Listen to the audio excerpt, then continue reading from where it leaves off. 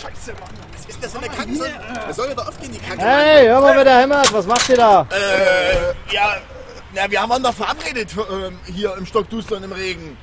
Äh, normal. An diesem völlig ganz normalen Konsumautomaten. Feuchten Tag. An einem feuchten Tag. Unser Wetter quasi. So, ist ein bisschen frisch, aber wir wollten nämlich eigentlich, haben wir ja gesagt, die Stipulations für Sex Wars ausgeben. Die da wären, ich fange mal an, Ja, darf, ja, ja? Also, erste Stipulation. On a pole match.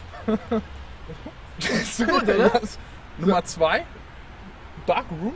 Darkroom Match, ja, jawohl. Ein Match, was komplett im Dunkeln stattfinden wird. Ja. Und drittes Match wird sein das First Ever Strip Poker Match. Ein Match, in dem jeder Pin ein Kleidungsstück weniger bedeutet. Und am Ende hat der gewonnen, der seine Kleider noch anhat. Der Arme tut mir jetzt schon leid. So, also in diesem Sinne, haben wir noch was zu sagen? Nö, eigentlich. Also dann sagen wir mal, Sex out! Bis Sex Wars. Und jetzt, äh, wir haben jetzt, wir gehen jetzt auch nach Hause. Dann. Dann gleich. So, Anja ans Arbeit. Ich. Wann das Ding jetzt?